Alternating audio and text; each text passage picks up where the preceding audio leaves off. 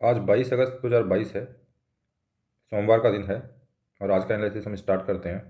तो आप आपके सामने जो कार्टून देख रहे हो, उसमें एक तरफ़ तो दिखाया गया है कि जैसे फ्री भी दी जा रही है टैक्स पेयर्स को, ठीक है?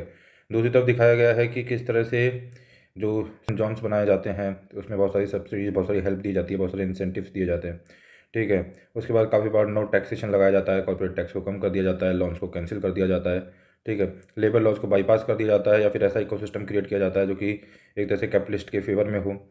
तो ये जो न्यू लिबरलिज्म है न्यू लिबरलिज्म जो एक वर्ड है है ना? तो जो न्यू लिबरलिज्म के अंदर जिस तरह से इंसेंटिव गवर्नमेंट के द्वारा आगे बढ़ के दिए जाते हैं, है ना? कैपिटलिस्ट को ताकि वो फ्लरिश कर सके और फ्लरिश करके कैपिटलिस्ट के थ्रू जो प्रोग्रेस की कोशिश की जाती है, उसको ऊपर एक व्यंग कसता हुआ ये पूरा एक कार्टून है, जिसमें बताया गया है कि इसे हम फ्री बीज बोल रहे हैं। तो यहाँ पे साथ में ये चीज़ें भी चल रही हैं। अब कौन सी चीज़ कितनी जस्टिफाइड है? टैक्स पेयर्स की मनी के थ्रू इस तरीके का सपोर्ट प्रोवाइड किया जाना कितना उचित है? ठीक है। और साथ में ही जो फ्री बीज हैं, वो फ्री बीज क्या सभी उचित हैं? या फिर जो फ्री बीज हैं, वो मेरिट गुड्स तक ही होनी चाहिए? तो काफ़ी इसके ऊपर डिबेट चल रही है, काफ़ी दिनों से एक और टॉपिक बना हुआ है।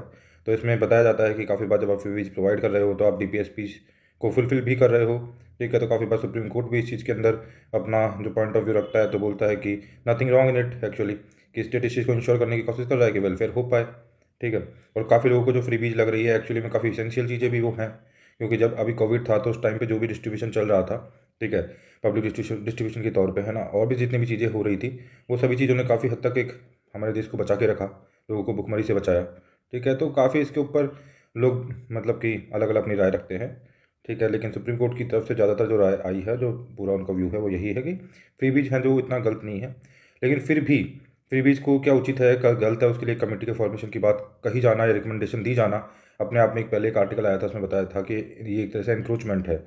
मतलब जो स्टेट्स की ऑटोनॉमी है, उसको कर्टेल करने की तरफ़ एक इंक्रोचमेंट के तौर पे इसको एक राइटर ने मतलब ऐसा लिखा था राइटर में कि उस तरह से इसको कहा जा सकता है कि इस तरह से ये है। तो यही था पूरा फ्री बीज के रिगार्डिंग है ना? तो ये कार्टून में इसके थ्रू मैंने बता दिया, आपको एक्सप्लेन कर दिया है। अब नेक्स्ट जो न्यूज़ है, उसके ऊपर चलते हैं। हालाँकि हमारे कंटेक्स में इतना इंपॉर्टेंट नहीं है। सिंगापुर ने अभी क्या किया है? Will repeal the laws against gay sex तो वहाँ के पीएम ने बोला है। तो इसके थ्रू आप हमारे यहाँ पे क्या है? जो L G B T Q I community का एल जी कम्युनिटी है, उसका स्टेटस हमारे यहाँ पे क्या है? सेक्शन जो थ्री सेवेंटी सेवन है, उसको स्क्रैप कर दिया गया है डिकमरलाइज कर दिया गया है। तो उससे क्या मतलब है? तो इंडिया के कंटेक्स में आप इस चीज़ को देख सकते हो। जब वहाँ से न्यूज़ हुई है तो क्वेश्चन इस वजह से बन सकता है कि इंडिया के अंदर इसका क्या स्टेटस है? तो बताते हैं कि जैसे section three seventy seven A तो ये ब्रिटिश कॉलोनियल एरा का टाइम का ही एक रूल चला आ रहा है। ठीक है, सिंगापुर के अंदर भी चल रहा है ये। तो अब इसको बोला गया है कि सिंगापुर इसको रिपील करेगा, है ना? क्योंकि काफ़ी ज़्यादा प्रोटेस्ट वगैरह चल रहा था पूरा सिविल सोसाइटीज़ के द्वारा। और उसमें बाद में डिसाइड किया गया फाइनली कि जो ये है, इसको डीक्रिमिनलाइज किया जाएगा, जो भी सेक्स बिटवीन मैन जो है, उसको डीक्रिमिनलाइज किया जाएगा। तो ये रिपील कर दिया जाएगा gay sex okay gay sex specifically है ना इस पर यहाँ पे इन्होंने ये बोला है। ओके तो अब नेक्स्ट न्यूज़ के ऊपर हम चलते हैं। तो अब यहाँ पे हमारे लिए इंपॉर्टेंट हो जाता है कि लो, लोकेशन देख लेते हैं हम इसकी सिंगापुर की। तो सिंगापुर काफ़ी फ़ेमस है देखो मलक्का स्टेट के पास में पड़ता है और ये काफ़ी ज़्यादा एक निष्पक्ष होने की वजह से भी काफ़ी बार यहाँ पे आर्बिटेशन के तौर पे इसको यूटिलाइज़ किया जाता है काफ़ी ज़्यादा मीटिंग्स वगैरह जो होती हैं वो यहाँ पे होती हैं। और एक तरह से हम बोल सकते हैं कि ये आपकी जो मिडिल जो ज़ीरो डिग्री लाइन है उसके जस्ट ऊपर ही है हल्का सा ये है ना। और इंडिया से इस तरह से इसका स्टेटस है। और यहीं पे पास में ये फिर इंडोनेशिया है ही मलक्का स्टेट है तो चौक पॉइंट्स के आसपास ये पाया जाता है तो काफ़ी सिग्निफिकेंस है इसकी लोकेशन का भी अपने आप में। और ये देखो बता रखा है सिंगापुर के बारे में, है ना? और यहाँ की इंपॉर्टेंट जो जगह है, उसके बारे में बता रखा है। यहाँ पर स्टेट ऑफ़ सिंगापुर भी है पास में ओके अब जो हमारी नेक्स्ट न्यूज़ है, जिसके बारे में हमने पहले भी बात की कि इंडिया चाइना के बीच में जो टाइज है can't be an one way street मतलब एक तरफ़ से कोशिश करने से कुछ नहीं होगा it should be a two way process हर किसी को एक दूसरे की डिग्निटी को समझना पड़ेगा, है ना? और इसमें बोला है from our point of view है ना? जयशंकर जी बोल रहे हैं दोबारा से, है ना? पहले भी इन्होंने इसके बारे में काफ़ी कुछ बोला है अभी ये बोल रहे हैं from our point of view we have been very clear that if you have to build a relationship then there has to be mutual respect each one will have their interest and we need to be sensitive to what the concerns are of the other party तो ये Galwan valley के अंदर जो issue हुआ था, और उसके बाद काफ़ी ज़्यादा एक स्टैंड ऑफ़ सा है और काफ़ी ज़्यादा दिक्कत है। अभी यहाँ इंडिया और चाइना के रिलेशन बहुत ज़्यादा अच्छे नहीं हैं, और इसी के रिगार्डिंग बार बार जयशंकर जी अपनी बातें रख रहे हैं। अभी उसके रिगार्डिंग वापस कमेंट भी आया था चाइना की तरफ़ से, है ना? उनके फॉरन जो स्पोक पर्सन थे, उन्होंने बोला था कि ऐसा कुछ नहीं है, हम एशियन यदि एशियन एरा देखना चाहते हैं तो एक तरह से हमें कंबाइंड होकर आना पड़ेगा, ये हम भी मानते हैं, हम भी जानते हैं। ठीक है, और काफ़ी मतलब उनका एक जो रिप्लाई आया था, वो ऐसा था कि वो थोड़ा सा हारमनी क्रिएट करने वाला रिप्लाई था। बट वो रिप्लाई होना एक अलग चीज़ है और एक्चुअली एक्शंस होना अलग चीज़ है। तो एक्चुअल जो एक्शंस हैं चाइना के, वो उस रिप्लाई से मैच नहीं करते हैं। उनके बीच में एक तरह से सिंक्रोनाइजेशन नहीं है। क्योंकि जिस तरह से गलवन वैली के अंदर शो किया है चाइना ने, ठीक है? तो वो सब कुछ मतलब एक तरह से प्रोवोक करने जैसा है। तो जब प्रोवोक किया जा रहा है तो ऐसी कंडीशन के अंदर हम कैसे मान लें कि केवल वन वे स्ट्रीट ये है और हम अच्छे प्रयास करेंगे तो ये रिलेशन अच्छा हो जाएगा। इट्स नॉट पॉसिबल ठीक है? तो इसमें बताया गया कि मिनिस्टर ने बताया कि डिसरिगार्ड किया गया पैक्ट को। कुछ पैक्ट हुए थे इंडिया के बीच में पहले जैसे नाइनटीन नाइनटीज में पैक्ट हुआ था। क्या पैक्ट हुआ था? तो देखो, जयशंकर जी ने बोला, India and China have agreement going back to nineteen nineties which prohibit bring troops to the border area, जो कि मना करता है बॉर्डर एरिया के पास ट्रुप्स को लेकर आना, लेकिन फिर भी चाइना ने ऐसा किया। मतलब ये चीज़ गलत रही ना। तो इस तरह से पैक्ट्स को डिसरिगार्ड करते हुए आप सोचो कि हारमोनी बन जाए तो this is not possible because ये कोई वन वे स्ट्रीट नहीं है। बहुत तरफ़ से, दोनों तरफ़ से सेंसिटिव होना पड़ेगा एक दूसरे की, एक दूसरी कंट्री की तरफ़, तभी जाके दोनों, हम हारमोनी में दोनों कंट्रीज़ काम कर पाएँगी।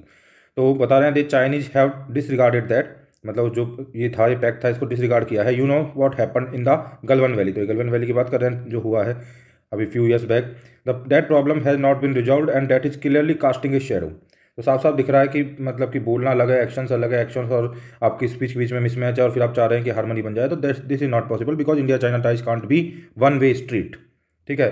और अभी इससे पहले बैंकॉक के अंदर जब जयशंकर गए हुए थे तो बोल रहे थे कि काफ़ी एक्सट्रीम डिफ़िकल्ट फ़ेज़ चल रहा है इंडिया और चाइना के रिलेशनशिप के बीच में। और उन्होंने बताया था कि एक्सट्रीमली डिफ़िकल्ट फ़ेज़ है। After Beijing has done the जो भी उन्होंने बॉर्डर के ऊपर किया है और इम्फेसाइज किया था Asian century will not happen Asian century यदि आपको लेके आनी है तो आपको इंश्योर करना पड़ेगा कि दोनों कंट्रीज़ कंबाइंड वे में चले। यदि दोनों कंट्रीज़ कंबाइंड वे में नहीं चलेगी तो एशियन सेंचुरी कभी नहीं आ सकती है। ठीक है, ये बोला था इन्होंने। उसके बाद we very much hope that wisdom तो मतलब ये बोल रहे हैं कि हम ऐसा सोचते हैं कि सब कुछ सही रहेगा, है ना, और आगे जाके चीज़ें सही होंगी, और लाइक दैट है ना। तो ये सब कुछ इसके बारे में था, और ये कंटिन्यूसली इंडिया और चाइना के इशू को मतलब ये रेज कर रहे हैं और अपनी बात रख रहे हैं, काफ़ी रिप्लाई भी चाइना की तरफ़ से आ रहे हैं, लेकिन उनके जो रिप्लाईज है और उनके जो एक्शंस है, उसमें मैच नहीं है मिसमैच होने की वजह से ऐसे में संभव नहीं है कि हारमोनियस रिलेशन बन सके। यही रीज़न है कि हमारे अभी रिलेशन काफ़ी एक्सट्रीमली डिफ़िकल्ट फ़ेज़ के अंदर हैं इंडिया और चाइना के। इसी में यदि आप देख ही रहे तो हम गलवन वैली को देख लेते हैं। तो देखो, ये आपको बता दूँ, मैं, ये गलवन वैली है। ठीक है, ये लाइन ऑफ़ एक्चुअल कंट्रोल है। This is the line of actual control this is the Galwan valley बिल्कुल पॉइंट के ऊपर। और यहाँ पे वो स्टैंड ऑफ़ हुआ था, यहीं पे वो वो प्रॉब्लम हुई थी। ठीक है, यहाँ पे कारगिल है आपका। ये जम्मू कश्मीर हो गया। ये कारगिल हो गया। लोकेशन आ सकती है। नॉर्थ टू साउथ आ सकती है। ईस्ट टू वेस्ट आ सकती है तो आपको याद रखना है। तो लद्दाख है। ये जम्मू एंड कश्मीर है। लद्दाख में ये ऊपर कारगिल है। यहाँ पे ले है। यहाँ पे एलएसी के जस्ट बिल्कुल पास में गलवन वैली है। और ये पेंगोंग लेक है। पेंगोंग लेक जो है, बिल्कुल यहाँ पे है। जो फिंगर टू फिंगर एंड मतलब वो फिंगर्स वाला जो इशू जिसमें चलता रहता है five finger and all that वो डिस्प्यूट रहता है तो वो पेंगोंग लेक ये है। तो कभी पूछवा दिया जाए ऑर्डर तो आपको ध्यान रखना है, देखो ये कारगिल है, ये ले है, ये पेंगोंग लेक है, ये है गलवन वैली अच्छे से आपको याद रखना है इस चीज़ को। ये पूरा लद्दाख है, ठीक है, और ये जम्मू कश्मीर है। आगे और देख लेते हैं मैं थोड़ा। थोड़ा इसको थोड़ा गहराई में देखते हैं तो देखो ये तो जे के हो ही गया। ये कारगिल हो ही गया आपका। देखो, अब यहाँ पे और भी थोड़ी चीज़ हम देख लेते हैं। ये पेंगोंग लेक जो है पेंगोंग सो लेक ये मैंने आपको पहले बता भी दी थी। ये दारबुक करके जगह है, और यहाँ पे गलवन नाला जंक्शन है। तो गलवन हमने कहीं पे, यहीं पे बताया था। और ये दौलत बेग ओल्डी है ना, एक सड़क बन रही है वहाँ पे, दौलत बेग ओल्डी सड़क जा रही है ना, दारबुक टू दौलत बेग ओल्डी करके। तो उसके रिगार्डिंग बताया गया ये पॉइंट एक तरह से, दौलत बेग ओल्डी और यहाँ पे हॉट स्प्रिंग है हॉट स्प्रिंग एरिया है ये वाला जो जोन है वो। दारबुक के बारे में बताई दिया। रिवर की जब बात आती है तो this is the Indus river और इंडस रिवर ये शेऊक और रिवर वगैरह है और लेह जो है ये यहाँ पे है। तो और जो यहाँ पे पेंगोंगसो लेक है पेंगोंगसो लेक जो है उसमें फिंगर फोर और finger two area of the tension between finger two and finger four तो ये मैं पूरा आपको अच्छे से मैप बता दिया है। और line of actual control is this red line okay तो ये red line line of actual control है। उसके बाद थोड़ा और इसको गहराई से देख लेते हैं, जब हमको मौका मिल ही रहा है तो। ये जो पूरा एरिया है, वो अक्षय चीन बोला जाता है और ये thirty two and two four four बत्तीस हज़ार के आसपास स्क्वायर किलोमीटर का एरिया है। ऑक्यूपाइड कर लिया गया है चाइना के द्वारा 1962 के वार के अंदर। ध्यान रखना है। ये जम्मू कश्मीर अगेन और जो लद्दाख हम पूरा मानते हैं, इसमें जो ऊपर वाला एरिया है, वो गिलगित बल्तिस्तान है। ये ऑक्यूपाइड कर लिया गया है गया है पाकिस्तान के द्वारा। कब? ये भी बहत्तर हज़ार स्क्वायर किलोमीटर का एरिया लगभग seventy three thousand square kilometre का एरिया काफ़ी बड़ा एरिया है, गिलगित बल्तिस्तान जो है। और जो जिसको कि हम अपने मैप में लेके चलते हैं, इंडिया अपना पार्ट बताता है। पार्ट है इंडिया का ही, ठीक है? क्योंकि इसे जबरन हथिया लिया गया था occupied by the Pakistan since 1947 तो this is Gilgit Baltistan region और यहीं पे सियाचिन है, जहाँ पे कि सियाचिन की हमारी लड़ाई हुई थी। यहाँ पे सियाचिन वाला एरिया है पूरा, ठीक है? इस चीज़ को आपको ध्यान रखना है। Galwan valley again line of actual control again hot springs again Pangong lake again ठीक है? तो ये सब कुछ ध्यान रखना है आपको। और ये ये सियाचिन ग्लेशियर आपका है। दिस इज़ द चीन और सक्षम वैली बहुत इंपॉर्टेंट जगह है। This area is called Shaksgam valley. Shaksgam valley का जो एरिया है, लगभग सात हज़ार स्क्वायर किलोमीटर का एरिया है। और इसको भी इलीगली पाकिस्तान ने चाइना को 1963 में दे दिया है। तो आपका पूरा स्टेटस समझ आ गया। दिस इज़ गिलगित बल्किस्तान 1947 में पाकिस्तान द्वारा इंडिया से ले लिया गया। हम, हमारा ये पार्ट है। ठीक है? और यहाँ पे जम्मू कश्मीर है। This is L O C this is line of actual control ठीक है? This is line of actual control ठीक है? And this is something called line sorry sorry sorry again sorry L O C means L A C means line of actual control तो ये हमारी China के साथ है line of actual control so line of control is different and L line of actual control is different ये China के साथ है एल और एलओसी हमारा लाइन ऑफ़ कंट्रोल पाकिस्तान के साथ है, जो कि ये दिखा रखा है। ठीक है? तो ये इसमें कंफ्यूज नहीं होना है, मैं दोबारा क्लियर कर दूँ। चाइना के साथ हमारा एल है। और पाकिस्तान के साथ हमारा एलओसी है, ये लाइन ऑफ़ कंट्रोल है और ये लाइन ऑफ़ एक्चुअल कंट्रोल जो एल है चाइना के साथ है। सारी लोकेशन मैंने आपको बता दी है काफ़ी क्रिस्टल क्लियर तरीके से, ठीक है? तो ये सक्षम वैली है जो कि चाइना को दे दी है पाकिस्तान ने और ये गिलगित बल्तिस्तान है अक्षाई चीन है और सारी लोकेशन हमने देख ली है। तो दिस इज़ ऑल अबाउट जब हम ये देख रहे थे चाइना इंडिया के डिस्प्यूट को तो हमने ये सारे मैप भी देख लिए हैं। अब हम नेक्स्ट न्यूज़ के ऊपर चलते हैं। तो नेक्स्ट जो न्यूज़ है वो बोल रही है scrap GST on unbranded food items Gehlot write to Nirmala.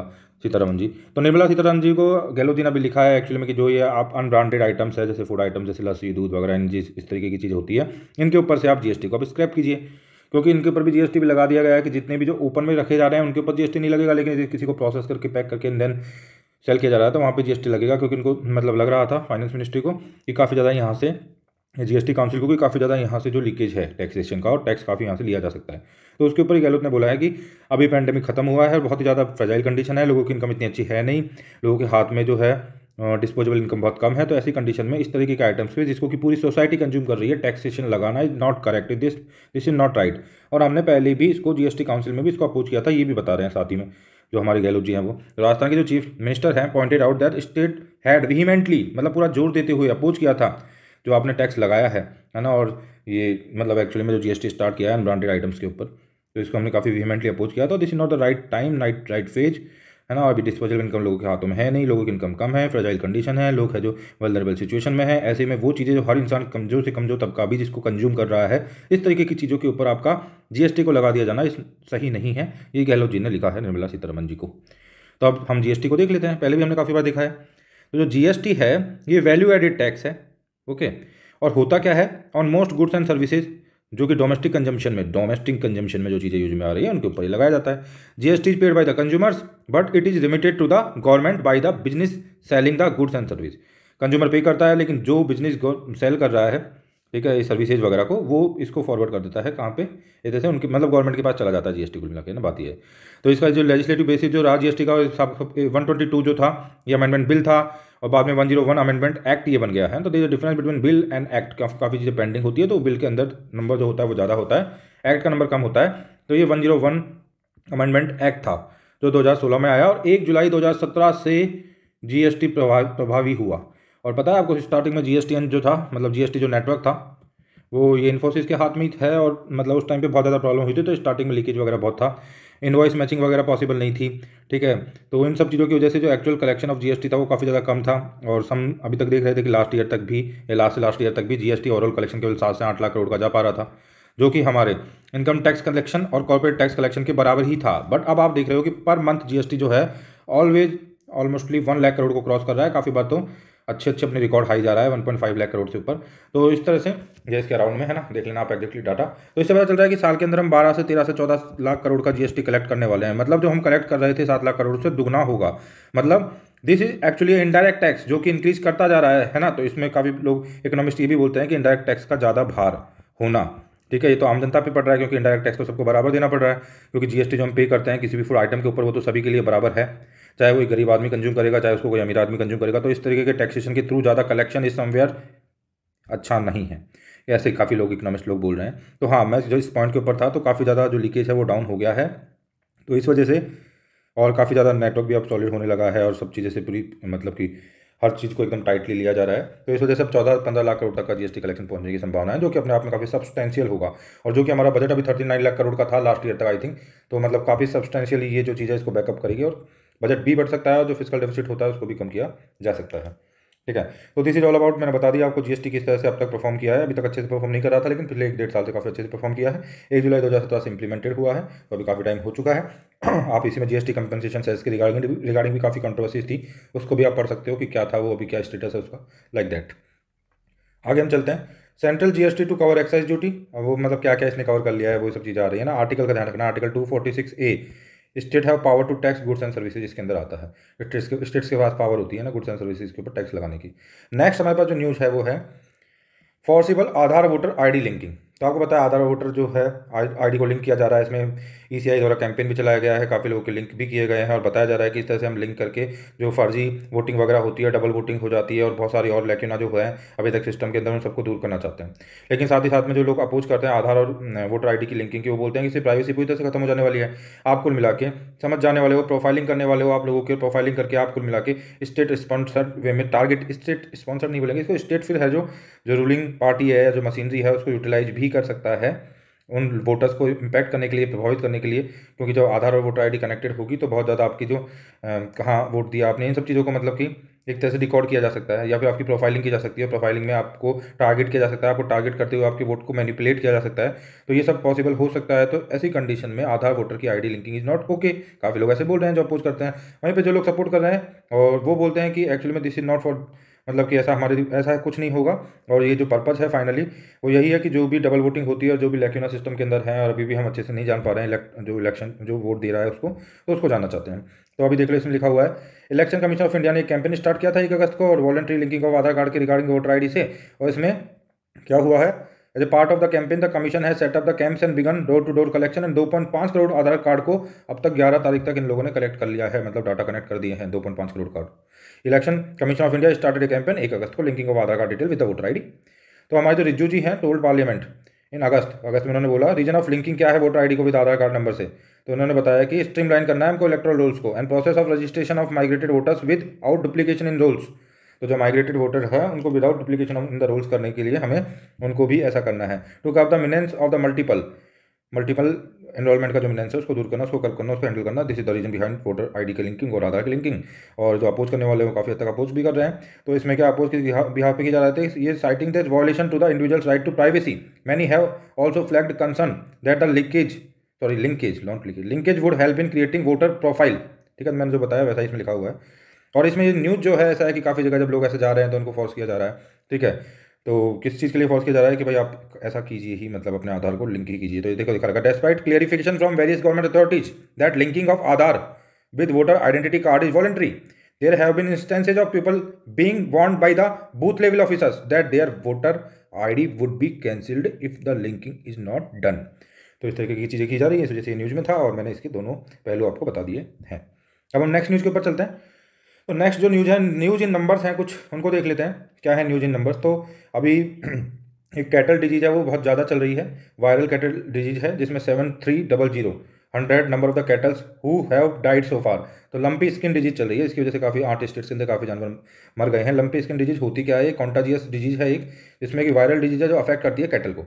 It is transmitted by the blood feeding insects तो ब्लड फीडिंग इंसेक्ट्स जो होते हैं, उनके थ्रू ट्रांसमिट ट्रांसमिट की जाती है। इसकी वजह से फीवर फीवर हो जाता है। और नोडल्स ऑन द स्किन हो जाते हैं can also lead to the death और बताते हैं अबाउट सौ पिछहत्तर हज़ार लगभग seventy four thousand three hundred twenty five cattles have been affected in Punjab इतने सारे यहाँ पे गुजरात में फिर राजस्थान में फिर इसके बाद जम्मू कश्मीर में काफ़ी जगह अफेक्टेड हो रहे हैं और इतने लोग इतने जानवरों की डेथ हो चुकी है और ये वायरल डिज़ीज़ है ध्यान रखना है लंपी स्किन डिज़ीज़ आ सकती है। जैसे फुट एंड माउथ डिज़ीज़ वगैरह आ, आ जाया करती थी पहले एग्ज़ाम में वैसे ही लंपी स्किन डिज़ीज़ के आने की पॉसिबिलिटी भी है। और दिस इज़ ये किसके किसके थ्रू ट्रांसमिट हो रही है? ब्लड फीडिंग इंसेक्ट्स के थ्रू ट्रांसमिट होती है। और इसके अलावा इसके बारे में वायरल डिज़ीज़ है एक तरीके से, है ना? तो ये हो गया। अब अगला है कि four four five double zero inflow in equities तो इंडिया के अंदर काफ़ी इनफ्लो हो रहा है इक्विटीज़ के अंदर, है ना? तो इसके बारे में बताया गया, इतना ज़्यादा इंपॉर्टेंट नहीं है। इसमें बताया गया कि इंटरनेशनल जो स्टूडेंट्स हैं, उनके लिए जो सीटें वीटें होंगी हमारी यूनिवर्सिटीज़ के अंदर, उसके रिगार्डिंग बताया गया। ये भी हमारे लिए इतना कोई काम का स्पेशल है नहीं। अब हम देख लेते हैं थोड़ा सा जो मैनुअल स्क्वेंजिंग वगैरह जो होती है ना, उसके रिगार्डिंग था। तो इसमें क्या होता है इसमें है क्या कुल मिला के देखते हैं। लोकसभा में अभी एक सर्वे वगैरह कंडक्ट कराया गया था social justice and empower ministry जो होती है, इसी को हैंडल करती है, आपको बताइए उन्होंने दो हज़ार तेरह से दो हज़ार अठारह में बताया गया कि लगभग अट्ठावन हज़ार जो लोग हैं ना, वो मैनुअल स्कैंजिंग में इन्वॉल्व है इंडिया के अंदर, लेकिन बताते हैं जो सिविल सोसाइटीज वगैरह जो लोग हैं बता रहे हैं कि आंकड़े बहुत कम बताए जा रहे हैं एक्चुअली में ना, ये आंकड़े बहुत कम है। और तीन सौ सैंतालीस वर्कर्स अब तक उनकी डेथ हो चुकी है दो हज़ार सत्रह से दो हज़ार बाईस तक इन सबके मैनुअल स्कैंजिंग वगैरह का काम करते हुए, ठीक है। तो ये मैनुअल स्क्वेंजर्स को एक डिग्निफाइड लाइफ दी जाए, इनकी रिस्टोरेशन किया जाए, इनको, इसको मैकेनाइजेशन किया जाए मैनुअल स्क्वेंजिंग को कम किया जाए। उसके रिगार्डिंग बहुत लगातार आर्टिकल्स वगैरह आते रहते हैं तो ये काफ़ी मतलब अपने आप में न्यूज़ में बना रहता है। तो थोड़े कुछ आंकड़े वांकड़े देख लेते हैं तो इसमें यही है कि सबसे ज़्यादा जो है, देखो यूपी बहुत ज़्यादा प्रभावित है। इसमें दिखा रखा कि कितनी सीवियरिटी कहाँ पर कितने ज़्यादा अमाउंट में है, और इसमें कास्ट वाइज स्प्लिट तो है ही, है ना? तो बोलते हैं कि जनरली कास्ट वाइज इसमें स्प्लिट बहुत ज़्यादा होता है, और दलित वगैरह को इस काम को ज़्यादा परफॉर्म करते हैं। तो majority of them were Dalit. तो यहाँ पे एक तरह से हम बोल सकते हैं कि कास्ट वाइज स्प्लिट भी यहाँ पे देखने को मिलता है। ठीक है? तो ये कुछ आंकड़े दे रखे हैं, कुछ फिगर्स दे रखे हैं, कुछ डायग्राम देख रखे हैं, आप देख सकते हो ना, आप यूटिलाइज कर सकते हो इनको इसकी पी भी प्रोवाइड कर दी जाएगी टेलीग्राम ग्रुप में तो वहाँ पर आप देख सकते हैं। ये कुछ आंकड़े हैं। अब हम नेक्स्ट चलते हैं न्यूज़ के ऊपर। दिल्ली पुलिस ने है, वो क्या किया है? Use of facial recognition technology Delhi police ने फेशियल रिकॉग्निशन टेक्नोलॉजी को काफ़ी यूज़ में लिया है तो इसमें राइटर बता रहा है, एक तरह से हम बोल सकते हैं एक्सप्लेन कर रहा है कि ठीक है फेशियल रिकॉग्निशन टेक्नोलॉजी आप यूज़ में ले रहे हो, लेकिन यदि ये गलत हो जाती है ठीक है, यदि टेक्नोलॉजी गलत हो जाती है तो ये सेल्फ आइडेंटिटी डाउट क्रिएट कर सकती है। मतलब किसी इंसान की आइडेंटिटी के ऊपर आप डाउट डाउट कर सकते हो ना? इससे मतलब कि ऑथेंटिक इंसान को आप फॉल्स इंसान मान सकते हो यदि स्टेट स्पॉन्सर्ड कुछ करना चाहिए स्टेट यदि सॉरी स्टेट स्पॉन्सर्ड नहीं बोलना चाहिए, अगेन स्टेट यदि किसी का एक्सक्लूजन करना चाहे तो on behalf of this technology और इन ग्राउंड पे कर सकता है, यदि इसमें कुछ भी मिसमैच हो जाता है तो ठीक है? तो ये कुछ मतलब जितनी अच्छी है, उतनी घातक भी है तो थोड़ा इसको कॉशियसली यूज़ में लेने की ज़रूरत है। ऐसा ऐसा कुछ बताया जा रहा है, हम देख लेते हैं क्या बताया जा रहा है। तो अभी एक आरटीआई का रेस्पॉन्स आया। है ना? जो कि international not internet freedom foundation के द्वारा तो रिवील किया गया कि दिल्ली पुलिस ने ट्रीट किया है एट्टी परसेंट ठीक है, अब eighty percent similarity generated by facial recognition technology system as positive result ऐसे बता रहे हैं ना? Eighty percent similarity generated by facial recognition technology system as positive result तो मतलब काफ़ी अच्छा ही रहा है, ये बोल सकते हैं। तो फेशियल रिकॉग्नाइजेशन की एक एल्गोरिथम होती है टेक्नोलॉजी के थ्रू क्या होता है? आपकी एक तरह से क्रिएट किया जाता है डिजिटल मैप मैप किया क्रिएट किया जाता है आपके फेस का। और एक आइडेंटिटी बनाई जाती है मैपिंग की जाती है इंडिविजुअल फेस की, और इसके थ्रू काफ़ी बच्चों को मतलब कि खोजने में अभी हेल्प ली गई है इसकी। फिर बाद में उसको क्या किया जाता है मैच किया जाता है डाटाबेस के थ्रू आपकी फेशियल प्रोफाइलिंग करके डिजिटल मैप बना के आपके फेस का, है ना? सॉरी तो दिल्ली पुलिस ने first opted F R T for the purpose of the tracing and identifying तो ये जो टेक्नोलॉजी है, इसका सबसे उपयोग, सबसे पहले उपयोग किया उन्होंने ट्रेसिंग और आइडेंटिफाई करने में मिसिंग जो चिल्ड्रंस है उनको। As per the direction of the Delhi High Court in जो भी केस वेस था उसमें। तो हुआ क्या है, फिर में इसमें एफ़ आर टी जब इन्होंने यूज़ में लिया है तो एक्यूरेसी रेट फॉल्स स्टार्कली अब देखना इंपॉर्टेंट चीज़ यहाँ पे extensive research into the F R T has revealed that its accuracy rates falls starkly based on the race and gender तो रेस एंड जेंडर के बिहाव पे इसकी जो एक्यूरेसी की रेट है, वो स्टार्कली फॉल करती है this is the loophole actually ठीक है? This can result in a false positive where a person is misidentified as someone else और ए फॉल्स नेगेटिव और ए फॉल्स नेगेटिव और कब गलत हो जाता है? Where a person is not verified as themselves तो the technology can also be use as a tool to facilitate state sponsored mass surveillance. तो स्टेट स्पॉन्सर्ड मास सर्विलेंस करने के टूल के तौर पे भी इस टेक्नोलॉजी को यूज़ में लिया जा सकता है। तो जब ये टेक्नोलॉजी आ रही है तो अच्छे से इसको फोकस के साथ लेके आना होगा। ठीक है, थोड़ा कॉशियस रहना होगा। ठीक तो यही था इसके अंदर। और थोड़ा सा है कि नॉन फंजिबल टोकन काफ़ी न्यूज़ में रहता है नॉन फंजिबल टोकन है ना? इसको देख लेते हैं। तो नॉन फंजिबल टोकन क्या होता है? एक डिजिटल असेट है whose ownership is verified through the transaction recorded stored on the blockchains ध्यान रखना। अच्छे से याद रखना है काफ़ी इंपॉर्टेंट है। N F Ts are digital assets whose ownership is verified through transaction records stored on blockchain मैं और आपको सिंप्लीफाइड इसको कर दूँगा, पहले हम इसको देख लेते हैं। कोई भी जैसा आर्ट वर्क होता है, कोई डिजिटल अवतार्स होते हैं, और कोई चीज़ होती है तो उनको कॉमनली हम ट्रेड करते हैं एन एफ़ टीज के अंदर। ओपन सी करके, है ना, ये क्या है largest N F T marketplace भी बन चुका है। आपको बताओ तो शायद अमिताभ बच्चन ने, हरिवंश राय बच्चन जी की कविता को अपनी आवाज़ में बोल के कुछ ने, उसको भी as N F T convert किया है। तो हम बोल सकते हैं कि जैसे हमारे पास फ़िज़िकल असेट्स होते हैं लाइक हमारे पास जैसे फ़िज़िकल असेट होते हैं, जैसे कि हमारी संपत्ति होती है, हमारे पास गोल्ड होता है या फ़िज़िकल जो भी चीज़ें होती हैं कार होती है, ये सब हमारे फ़िज़िकल असेट्स है। ऐसे ही हमारे डिजिटल असेट्स भी हो सकते हैं।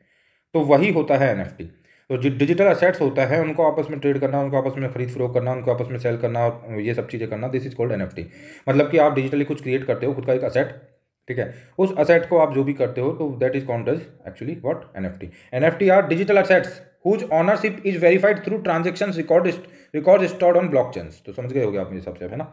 तो आगे देखना है। Earlier this year the platform was valued at over thirteen billion thirteen billion का प्लेटफॉर्म था। After raising around three hundred million in venture capital by अगस्त दो हज़ार बाईस based on the Ethereum block blockchain data OpenSea was use by two million traders तो देखो in future ये सब चीज़ें काफ़ी ज़्यादा इंपॉर्टेंट हो जाने वाली हैं, क्योंकि काफ़ी ज़्यादा लोग इसको यूज़ में लेने लगे हैं अब। तो अभी से इनके बारे में थोड़ा जानना ज़रूरी है फिर हमारे लिए। Traders who transacted at least once on the network. तो इसमें बताया गया है कि OpenSea use by two million बीस लाख ट्रेडर्स के द्वारा यूज़ में लिया गया है, जिसमें कम से कम एक बार उन्होंने ट्रांजेक्शन ज़रूर किया है। तो इन फ्यूचर ही काफ़ी ज़्यादा लाइमलाइट में सारी चीज़ें रहेंगी। हो सकता है कि ये टेक्नोलॉजी जो होती है, इन फ्यूचर बहुत ज़्यादा आगे निकल जाए और बहुत ज़्यादा इसको यूटिलाइज किया जाने लगे। हो सकता है कि ख़त्म भी हो जाए। तो ये सब डिपेंड करेगा कि किस तरह से, किस डायरेक्शन में हम बढ़ रहे हैं उसके ऊपर। कितना यूज़फुल रह पाती है? क्योंकि किसी चीज़ की यूटिलिटी के बिहाव पे ही क्या वो सस्टेन कर पाएगी या नहीं कर पाएगी, इसकी संभावनाएँ बनती हैं। ठीक है तो देखते हैं कितनी यूटिलिटी इसकी रहती है। और कितना आगे जा पाती है। नेक्स्ट जो हमारे पास सबसे इंपॉर्टेंट अब जो है what next on data protection तो आपको पता है डाटा प्रोटेक्शन बिल को ड्राफ्ट किया गया था, फिर डाटा प्रोटेक्शन बिल काफ़ी ज़्यादा न्यूज़ के अंदर रहा और अभी डाटा प्रोटेक्शन बिल को वापस ले लिया गया है और गवर्नमेंट ने बोला है कि डाटा प्रोटेक्शन बिल को हम दोबारा इंट्रोड्यूस करेंगे विद विद काफ़ी इसके अंदर परिवर्तन करते हुए। तो तब तक हमारे पास कोई डाटा प्रोटेक्शन बिल नहीं है। हमारी काफ़ी बड़ी कंट्री है, काफ़ी बड़ी कंट्री में बहुत सारे लोग हैं, उनका डाटा है डाटा न्यू ऑयल है डाटा बहुत ज़्यादा इंपॉर्टेंट है डाटा कंपनियाँ बहुत मिस यूज़ भी कर रही हैं अभी डाटा को अभी कंपनियाँ बहुत मैनिपुलेट भी कर रहे हैं डाटा को माइन भी कर रहे हैं डाटा का एक्सप्लोरेशन भी हो रहा है डाटा का एक्सप्लोइटेशन भी हो रहा है और डाटा को कुल मिला के मिस यूज़ भी किया जा रहा है और लोगों को मैनिपुलेट भी किया जा रहा है, लोगों को प्रभावित भी किया जा रहा है उनके डाटा को यूज़ लेके तो अभी हमारे लिए डाटा प्रोटेक्शन बिल ऐसे भी बहुत ज़्यादा इंपॉर्टेंट इसलिए हो जाता है कि हम अपने आप में बहुत बड़ा मार्केट है, जितनी भी कंपनीज़ हैं उन सबकी सभी कंपनीज़ के लिए। क्योंकि हमारी 140 करोड़ की पॉपुलेशन है तो कितना डाटा जनरेट होता होगा, आप सोच सकते हो। तो इंडिया के अंदर बहुत डाटा जनरेट होता है, उस डाटा को कैसे हैंडल करना है? उसके लिए डाटा प्रोटेक्शन बिल आया था, लेकिन बाद में देखा गया कि काफ़ी सारी उसके अंदर खामियाँ रही तो फिर उसको भी गवर्नमेंट ने वापस स्क्रैप कर लिया, लेकिन तब तक ये वापस नहीं आ जाएगा। इसको जल्दी लाने की रिक्वायरमेंट इसलिए है क्योंकि एक सौ चालीस करोड़ लोगों का डाटा अभी ताक पे है, ठीक है? या फिर मिस होने के लिए वलनरेबल है। तो इस वजह से जल्दी से डाटा प्रोटेक्शन बिल्कुल लाना ज़रूरी है तो गवर्नमेंट जल्दी ही इसको लेके आएगी, ऐसी काफ़ी संभावनाएँ हैं। देख लेते हैं थोड़ा इसके बारे में। पहले वाले को हटा दिया गया है ना? अभी वापस ले लिया गया मतलब जो बिल था उसको हम एक्ट तो बना ही नहीं था। तो लॉ तो आया ही नहीं था। बिल था पहले तो उसको हटा लिया गया अभी ना? तो यहाँ पे बताया गया one way to understand the decision is to back to the genesis of the law कहाँ से सब चीज़ें निकल रही हैं डाटा प्रोटेक्शन बिल वगैरह सब चीज़ों की चीज़ें निकल कहाँ से रही है? तो इसका जेनेसिस आपको बताया काफ़ी फ़ेमस है केस है K S Puttaswamy versus Union of India का जो केस है where the court held that the right of privacy had both a positive and negative aspect right of privacy के पॉजिटिव नेगेटिव एस्पेक्ट दोनों होते हैं। के S puttu स्वामी का case काफ़ी फ़ेमस केस है और राइट टू प्राइवेसी के लिए बहुत ज़्यादा जाना जाता है।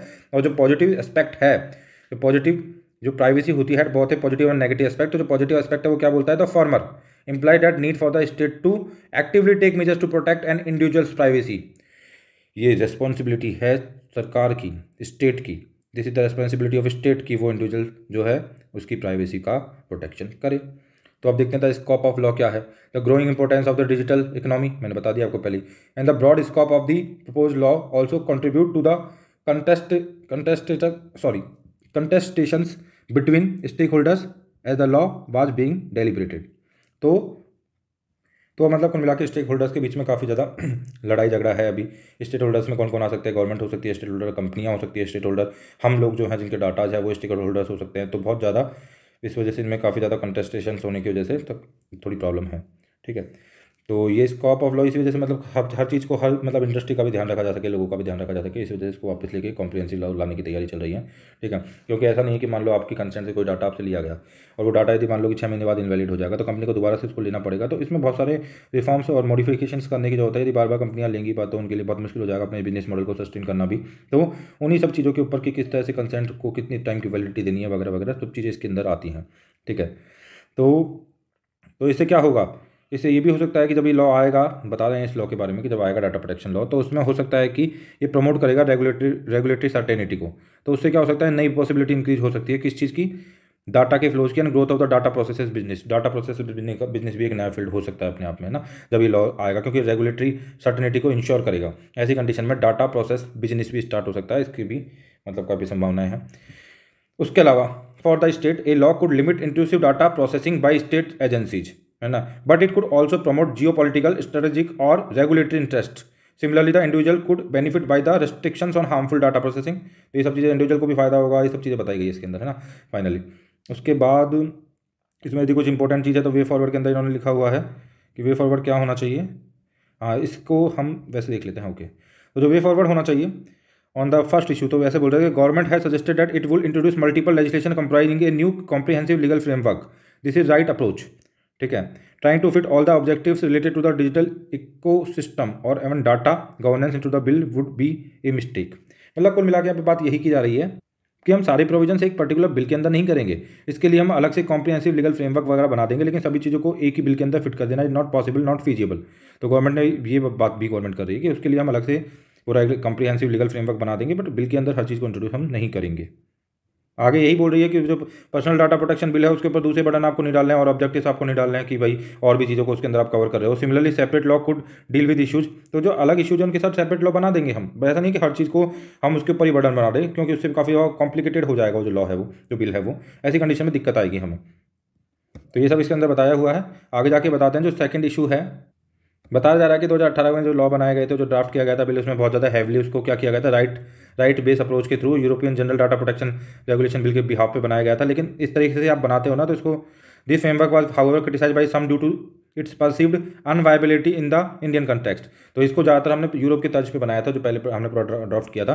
लेकिन इंडिया के लिए अनवाइबिलिटी इसकी हो जाती है। ऑन देयर बिहाफ ऑफ़ काफ़ी लोगों ने इसको क्रिटिसाइज किया है। For instance creating a cross sectoral data protection entity with the power to take significant coercive action is seen as problematic, given the rule of law capacity and regulatory constraints in India मतलब कुल मिला के बोल रहे हैं कि Europe की तर्ज पे बनाया गया है, लेकिन इंडिया के अंदर इसकी अनवाइबिलिटी हो जाती है, जाकि लाइक जैसे कि cross sectoral data protection entity को इंट्रोड्यूस करना और काफ़ी जगह हमें प्रॉब्लम भी क्रिएट करेगा। ये सब कुछ में बताया गया है इसके अंदर ना। तो इसको आप देख लेना।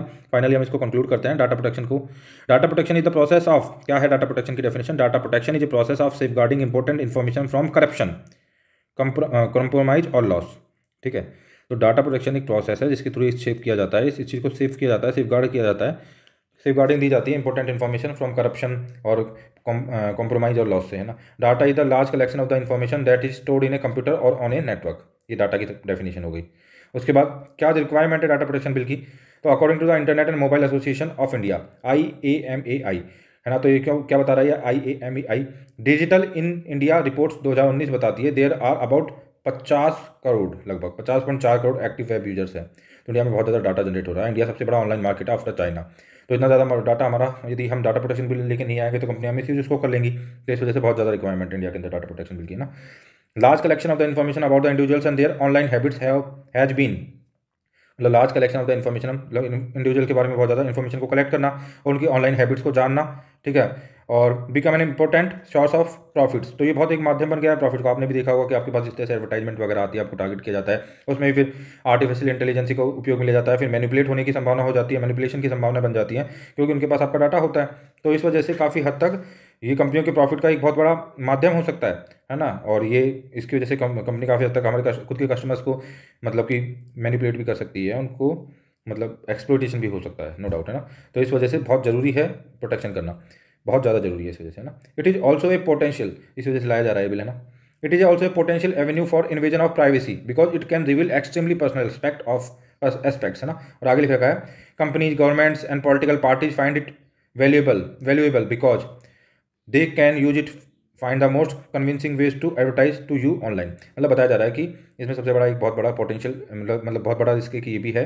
कि जो भी आपका डाटा पर्सनल डाटा होगा, उसको government companies government companies political parties कुल मिला के आपको कन्विंस करने के लिए यूज़ में ले सकती हैं आपकी खुद की इन्फॉर्मेशन को। इस तरह से यूज़ में ले सकती है कि आपको जिससे कन्विंस हो सको आप ना, उसको उस तरह से उपयोग में लिया जा सकता है। तो it also a potential avenue for invasion of privacy because it can reveal extremely personal aspect और जिसको कि मिस यूज़ किया जा सकता है कंपनी के द्वारा गवर्नमेंट के द्वारा और पॉलिटिकल पार्टी के द्वारा। और कुल मिला के आपको ही उसको फ़ीड करते हुए और मैनिपुलेशन करते हुए एडवर्टाइजमेंट के थ्रू आपको कन्विंस किया जा सकता है किसी भी तरीके से, किसी भी काम को करने के लिए। कन्विंस किया जा सकता है आपको, ना? तो वो गलत रहेगा। तो इन सभी चीज़ों की वजह से डाटा प्रोटेक्शन की बहुत ज़्यादा रिक्वायरमेंट है। तो इसी के साथ हमारा आज का एनालिसिस समाप्त होता है। इसी तरीके के अच्छे एनालिसिस के साथ आप इस चैनल को सब्सक्राइब कर सकते हैं। आगे भी हम मिलते रहेंगे। धन्यवाद।